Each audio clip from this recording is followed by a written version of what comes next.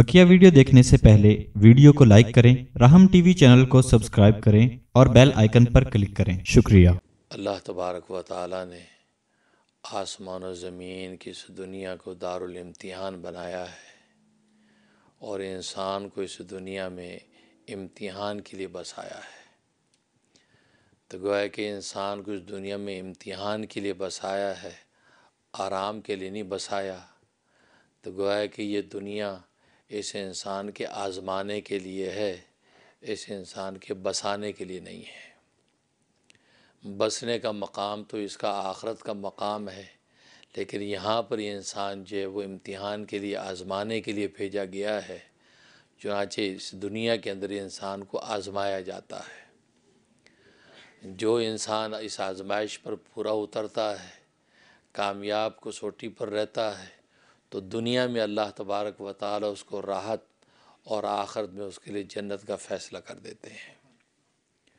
और जो इस मैार पे पूरा नहीं उतरता, इस इम्तिहान में फ़ेल हो जाता है तो दुनिया के अंदर बेसकून ज़िंदगी उसको मिलती है और आखरत में जहन्नुम की आग में झोंक दिया जाता है। तो गोया कि ये दुनिया इंसान के लिए इम्तिहान गाह है, या इंसान का इम्तिहान लिया जाता है या इंसान को आज़माया जाता है। इसलिए यहाँ पर इंसान को अल्लाह तबारक व ताली ने बहुत मुख्तसर वक़्त के लिए भेजा है।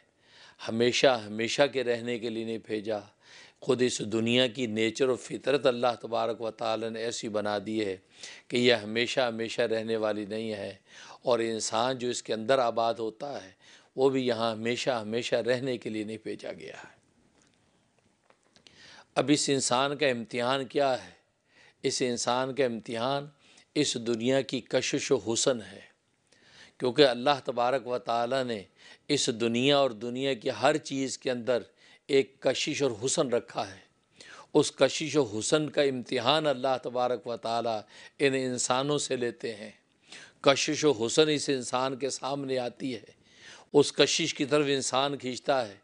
इसलिए ख़ुद इंसान के अंदर अल्लाह तबारक व ताली ने गोया कि एक ऐसी मकनातीसियत, गोया कि एक फौलादी मानवियत रखी है कि वो इसी दुनिया और दुनिया के हसन जमाल की तरफ़ कशिश पकड़ता है। इस दुनिया और दुनिया के हसन जमाल की तरफ़ बढ़ता है।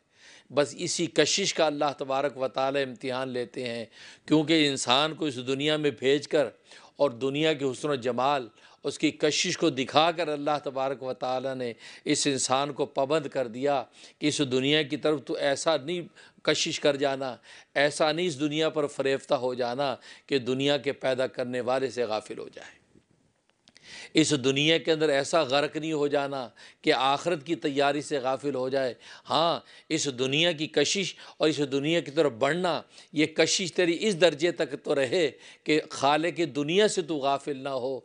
खाले के दुनिया जो इस दुनिया को पैदा करने वाला है, जिसे इस दुनिया के अंदर कशिश पैदा की, दुनिया की एक एक चीज़ के अंदर हुसन जमाल पैदा किया है तो उस खालिक के बारे में सोच के उसके अपने हुसन जमाल का आलम क्या होगा? अगर हुसन जमाल तुझे अपनी तरफ़ खींचता है तो सोच के जिस खालिक ने हुसन जमाल पैदा किया है, उसके अपने हुसन जमाल का आलम क्या होगा? दुनिया की चीज़ें अपनी कशिश की तरफ़ खींचती हैं। तो सोच जिस ज़ात ने यह कशिश रखी है, उसकी अपनी कशिश का आलम क्या होगा?